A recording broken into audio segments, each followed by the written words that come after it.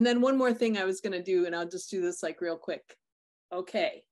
So Maria Bennett Hock, what comes to mind? The first word when you think Deborah Keirce? Oh, talented. Ah, are you going to ask me? And what, yes, what's the first word that comes to mind when you think of Maria Bennett Hock? Stylish. Oh, thank you. that was fun. I think that was the best one, right?